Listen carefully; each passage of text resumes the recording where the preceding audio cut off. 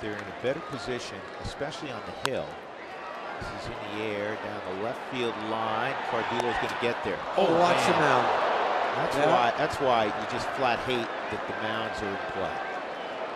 Fortunately, Stephen's fine. That's. It, it just shouldn't work that way. No, not at all. It's like But- Tal's Hill. You know,